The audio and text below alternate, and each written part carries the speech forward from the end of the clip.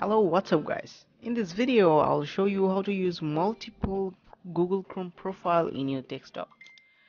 So first of all, you need to make sure that you have Google Chrome installed in your device. Now you can see that there are one, two, three, four, five, six account in my uh, Google Chrome. So how did I mm, how I uh, did this, right?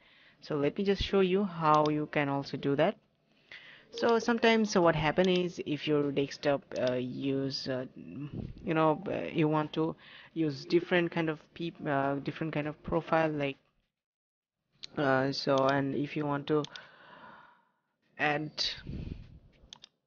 so if you want to use different kind of uh, profile in your Google Chrome you can see there is a icon okay?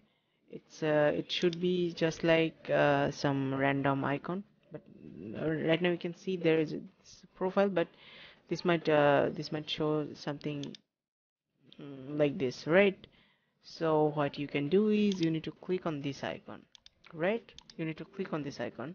And then here you can see add option here here right here.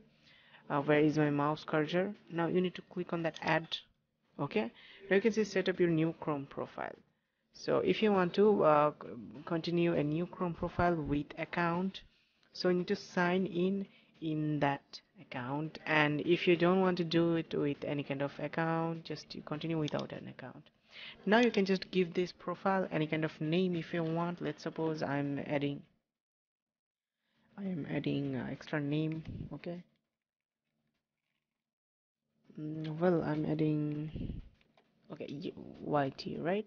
Now you can just uh, pick any kind of color. Uh, if you want you, can just pick custom color. According to your needs you can add uh, color presets from this option. Okay so let's uh, I'd like to select this color. Okay and here you can see create a desktop shortcut. So if you want to uh, just uh, use this profile or open this profile with a with a shortcut you can just check mark on that and just click on done here right? Now you can see this is a completely different profile. Now you can switch between chrome profiles here. Now you can see this is a profile icon. If you click on that now you'll be able to see all of your uh, other, all of your profiles. Now you can see other profiles as well. So let me just close google chrome. Now you can see uh, I know my uh, desktop is uh, screen is kind of messed up but it's okay. Now let me just show you. You can see this is a new icon uh, came up. So if you click on that now you can see this is directly opened uh, with this new profile right? But if you want to if you try to open up Google Chrome directly you can see you will be able to access uh, all of your profiles. So let's suppose I want to open Google Chrome with this profile. I'm just clicking on that. Now you can see. Now you can go to guest mode as well. Okay if you click on guest and uh, yep.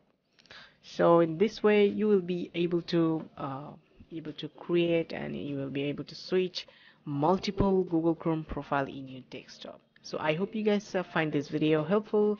If you have any kind of question regarding this video feel free to ask in the comment section below. I'll see you in the next video. Until then stay tuned with 5 minute solution